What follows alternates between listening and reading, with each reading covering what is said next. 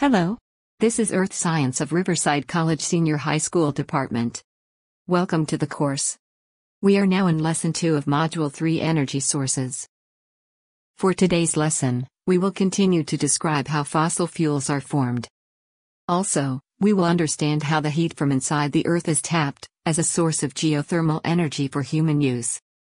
Lastly, we will explain how hydroelectric energy is harnessed from flowing water.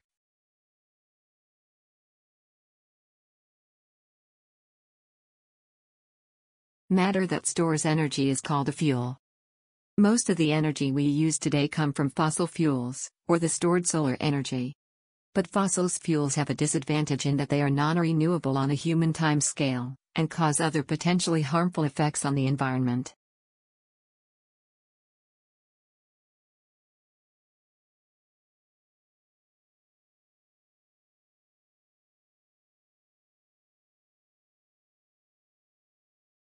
Fossils are the preserved organic remains or traces of animals, plants and other organisms. These fuels include huge proportion of carbon and hydrocarbons.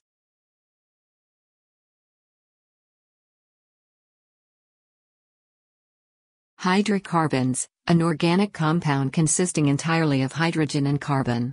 Examples are methane, ethane, propane, butane, and more. Fossil fuels are fuels formed by natural processes such as anaerobic decomposition of buried dead organisms. The age of the organisms and their resulting fossil fuels is typically million of years and sometimes exceeds 650 million years.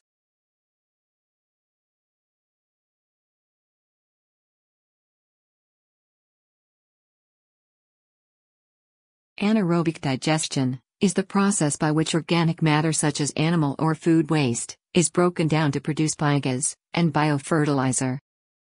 This process happens in the absence of oxygen, in a sealed oxygen-free tank, called an anaerobic digester. The word anaerobic actually means in the absence of oxygen.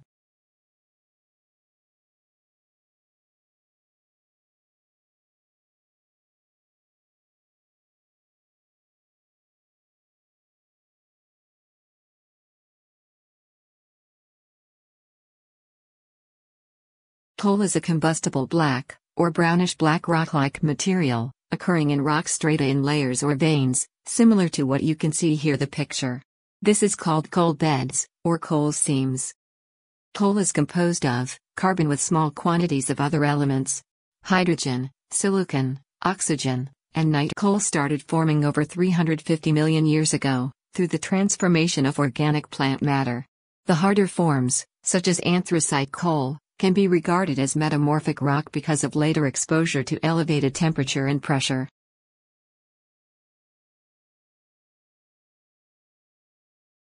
The formation of coal begins in areas of swampy wetlands where groundwater is near or slightly above the topsoil. Because of this, the flora present produces organic matter quickly, faster in fact than it can be decomposed. It is these layers of organic material that then form coal. The energy in coal initially comes from the sun, and is energy from sunlight trapped by dead plants. Coalification is the formation of coal from plant material by the processes of diagenesis and metamorphism. It also known as bituminization or carbonification.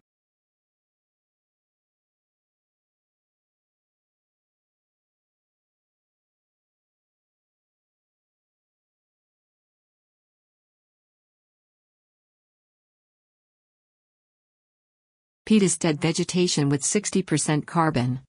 It is an accumulation of plant organic materials that only partially decompose due to exposure to water and carbon dioxide. It is also an evidence of plant remains in water. Lignite, often referred to as brown coal, is a soft, brown, combustible, sedimentary rock formed from naturally compressed peat. This lignite still has traces of plant remains, and it is considered the lowest rank of coal, due to its relatively low heat content. Bituminous is the most abundant form of coal and a major source of heat energy. It contains 70 to 86% carbon and it forms when even more pressure is applied to lignite. In this stage, no trace of plant materials left. In the next succeeding videos, watch and understand how are the types of fossil fuels are formed. Coal. Coal is a black or dark brown combustible rock made primarily of carbon. It was formed millions of years ago when ferns, plants, and trees died and fell into swamps. The swamp conditions prevented the organisms from decaying completely, and after millions of years of intense heat and pressure, coal was formed. Coal is classified into four main types or ranks based on carbon and heat content lignite, subbituminous, bituminous, anthracite. The general rule is that the higher the grade of coal, the cleaner it burns and the more versatile its uses. Coal is extracted from the earth through underground mining or surface mining. The choice of mining method is largely determined by the geology of the coal deposit and its distance from the surface. Underground mining currently accounts for a larger share of world coal production than surface mining. Coal can be burned for heating or to produce electricity. To convert thermal coal to electricity, it is first milled to a fine powder, which increases the surface area and allows it to burn more quickly. The hot gases and heat energy produced from combustion converts water into steam to run a turbine and generator. High quality coal is also a useful raw material. For example, it can be converted to coke for steelmaking. Also be converted to liquid or synthetic gas by advanced chemical processes, making it a possible but costly replacement for natural gas or liquid fuels for transportation. Coal is a highly abundant and cheap energy resource. Coal has powered the industrialization of many nations over history and continues to today. It is a big player in today's energy system, providing 40% of the world's electricity. One major concern with coal is the mining practices used to extract the resource. Ecological impacts and human safety issues, both for workers and neighboring communities, are growing concerns for the industry. Coal is the most CO2 intensive fossil fuel when combusted because it is composed largely of carbon. Coal also contains other elements that cause pollution problems, including sulfur, nitrogen, mercury, and heavy metals. SOx is a leading cause of acid rain and NOx emissions contribute to smog. In addition, particulates from coal combustion can be harmful to human health. Concerns about climate change from greenhouse gas emissions have put a spotlight on coal plants and have prompted the development of clean coal technologies like carbon capture and storage. That's coal. Oil. Oil, otherwise known as petroleum or crude, is a thick black liquid composed primarily of hydrogen and carbon. The physical properties of oil, such as its thickness, vary greatly depending on the specific combination of hydrocarbon molecules. Oil also contains trace elements of sulfur, nitrogen, and oxygen. Today's oil deposits were formed millions of years ago when dead marine organisms sunk to the bottom of the ocean bed and were buried under deposits of sedimentary rock. After subjection to intense heat and pressure, these organisms underwent a transformation process by which they were converted to oil over millions of years. This is why you may have heard oil referred to as a fossil fuel. Oil is found in underground geological formations called reservoirs. The rocks found in a reservoir have various physical properties that allow them to hold hydrocarbon reserves. Through exploration activities such as seismic, surveying, rock core sampling, and other advanced technologies, geologists locate oil reserves. Oil is extracted from the reservoir most commonly by drilling a well. Once recovered, oil is transported by pipeline, ship, rail, or truck to a refinery where it undergoes a complex refining process that creates petroleum products like gasoline, diesel, jet fuel, asphalt, and many more. Currently, the world uses oil primarily to power its transportation system and to create commonly used synthetic products like plastics and petrochemicals. The production and use of oil presents social and environmental challenges. Producing oil causes land disturbance, sometimes in environmentally sensitive areas. Oil powered transportation systems contribute to global greenhouse gas emission levels and control of oil resources is a persistent factor in geopolitical tensions globally. That's oil. Natural gas. Natural gas is primarily methane, or CH4, with smaller quantities of other hydrocarbons. It was formed millions of years ago when dead organisms sunk to the bottom of the ocean and were buried under deposits of sedimentary rock. Subject to intense heat and pressure, these organisms underwent a transformation in which they were converted to gas over millions of years. Natural gas is found in underground rocks called reservoirs. The rocks have tiny spaces called pores that allow them to hold water, natural gas, and sometimes oil. The natural gas is trapped underground by impermeable rock called a cap rock and stays there until it is extracted. Natural gas can be categorized as dry or wet. Dry gas is essentially gas that contains mostly methane. Wet gas, on the other hand, contains compounds such as ethane and butane, in addition to methane. These natural gas liquids, or NGLs for short, can be separated and sold individually for various uses, such as in refrigerants and to produce products, like plastics. Conventional natural gas can be extracted through drilling wells. Unconventional forms of natural gas, like shale gas, tight gas, sour gas, and coal bed methane, have specific extraction techniques. Natural gas can also be found in reservoirs with oil and is sometimes extracted alongside oil. This type of natural gas is called associated gas. In, in the past, associated gas was commonly flared or burned as a waste product, but in most places today it is captured and used. Once extracted, natural gas is sent through small pipelines called gathering lines to processing plants, which separate the various hydrocarbons and fluids from the pure natural gas to produce what is known as pipeline quality dry natural gas before it can be transported. Processing involves four main steps to remove the various impurities oil and condensate removal, water removal, separation of natural gas liquids, sulfur and carbon dioxide removal. Gas is then transported through pipelines called feeders to distribution centers or is stored in underground reservoirs for later use. In some cases, gas is liquefied for shipping in large tankers across oceans. This type of gas is called liquefied natural gas, or LNG. Natural gas is mostly used for domestic or industrial heating and to generate electricity. It can also be compressed and used to fuel vehicles and as a feedstock for fertilizers, hydrogen fuel cells, and other chemical processes. Natural gas development, especially in the United States, has increased as a result of technological advances in horizontal drilling and hydraulic fracturing. When natural gas is burned, there are fewer greenhouse gas emissions and air pollutants when compared to other fossil fuels.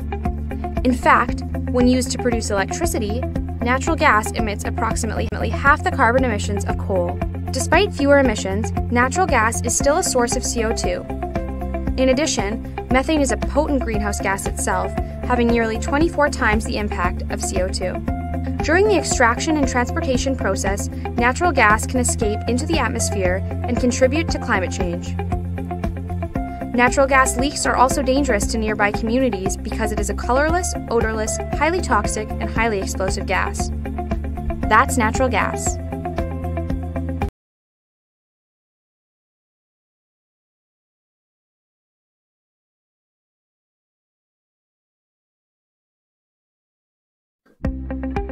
Geothermal. Geothermal refers to producing energy from the internal heat of the Earth. The internal heat of the Earth is generated from radioactive decay of minerals and continual heat loss from the Earth's original formation. Geothermal wells are drilled into the Earth's crust at approximately a depth of 3 to 10 kilometers. The heat is extracted with a variety of methods, but in most cases is drawn from the Earth using water and steam. Hot water from the Earth may be directly extracted to heat homes and buildings. This is done either by directly circulating the hot water through buildings or by pumping it through a heat exchanger that transfers the heat to the building. Geothermal heat can also be used to produce electricity in a geothermal power plant. Electricity is generated when geothermal heat produces steam that turns turbines on a generator. The major regions of geothermal development are in the most volcanically and tectonically active regions of the world.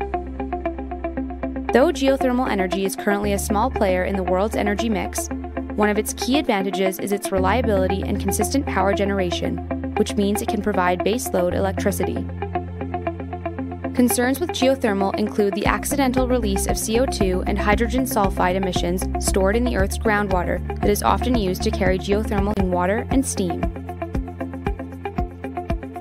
Hot water from the Earth may be directly extracted to heat homes and buildings. This is done either by directly circulating the hot water through buildings or by pumping it through a heat exchanger that transfers the heat to the building. Geothermal heat can also be used to produce electricity in a geothermal power plant. Electricity is generated when geothermal heat produces steam that turns turbines on a generator.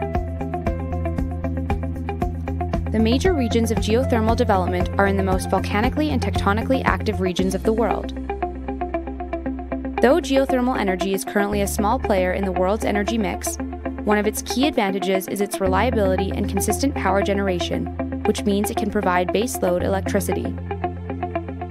Concerns with geothermal include the accidental release of CO2 and hydrogen sulfide emissions stored in the Earth's groundwater that is often used to carry geothermal heat to the Earth's surface. Additionally, drawing heat from the Earth's crust can, if done irresponsibly, lower the ground temperature below the surface. The upfront costs for geothermal energy production are relatively high, it is expensive to carry out the seismic sensing, test well drilling, confirmation testing, and other necessary preliminary investigations to ensure that your new geothermal plant will be capable of meeting desired production. That's geothermal.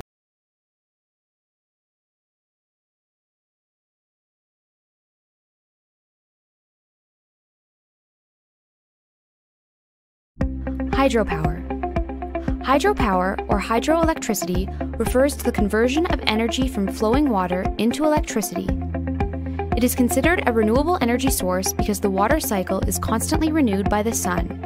One of the first uses of hydro energy was for mechanical milling, such as grinding grains. But today, modern hydro plants produce electricity using turbines and generators. The mechanical energy created by moving water spins rotors on a turbine. This turbine is connected to an electromagnetic generator which produces electricity when the turbine spins. There are two main types of hydroelectricity production dams and run of river. Hydro dams utilize the potential energy from dammed water to produce electricity. A dam is a large barrier constructed to raise the level of water and control its flow. The elevation created by the dam creates gravitational force for turning the turbine when water is released. Some dams also contain an additional reservoir at their base where water is stored to be pumped to the higher reservoir for release when electricity is in demand. This is referred to as pumped storage hydro. The second form of hydroelectricity production is run of river hydro. Run of river still uses turbines and generators, but relies on natural water flow rates of rivers, diverting just a portion of the water through turbines. Because run of river hydro is subject to natural water variability, it is, it is more intermittent than dammed hydro. There are various sizes of hydro plants that produce electricity. Large hydro, greater than 30 megawatts, small hydro, 100 kilowatts to 30 megawatts, and micro hydro, less than 100 kilowatts. The Hoover Dam in the United States is a whopping 2,074 megawatts, which is enough to serve 1.3 million people. Of all renewable energy sources, hydropower holds the largest share of worldwide electricity production. Hydropower has several benefits. It is a cost competitive form of electricity, even though the initial building cost can be high. It is quite reliable compared to other renewable options and pairs well with other sources as it can be used as baseload power.